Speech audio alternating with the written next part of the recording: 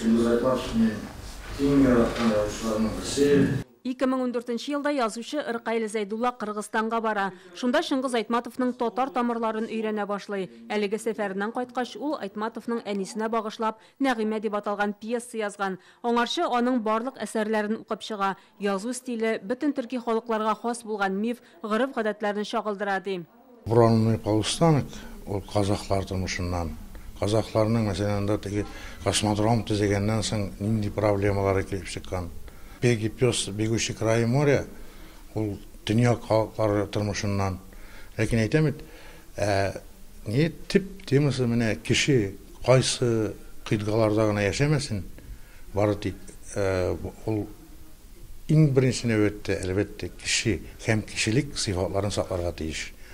Менә Чингиз Айтматовның гуманитар миссиясе әдәбиятта шушы. Шыңғыс Айтматовның ижаты турында Фәннәр академиясендә фикер алыштылар. Аның әсәрләрендә күтәрелгән проблемалар бүген дә әһәмиятле диләр. Ул мәхәббәт, нәфис, яшәү, экология, космос кебек темалар турында уйлана. Әсәрләрендә кеше үзе нинди дигән сорау куя. Җавабын да әйтеп бирә. Технологияләр никадәр алга китсә дә, кеше үзгәрми айтматовтың ижатын әйтик біз совет уақытында яшәсәк аны интернациональ ижат деп әйтерләр иде ләкин ул интернациональ түгел ул милли ижат. Ул аны русча язса да аның бөтен әсәрләре күпчелеге үзенең кыргыз халкына багышланган аның үткәне аның кешеләренә аның табигаты һәм башкаларга багышланган ул милли акыртын барысы да җыела 2018 елда Камал театрында Шыңғыз Айтматовның ғасырдан да ұзын күн романы бойынша мәңгілік буран спектаклі сахналаштырылды. Режиссері Илгиз Зәйниев тамашачы игътибарын котлаулы шырда яшәгән кеше язмышларына юнәлтә. Спектакль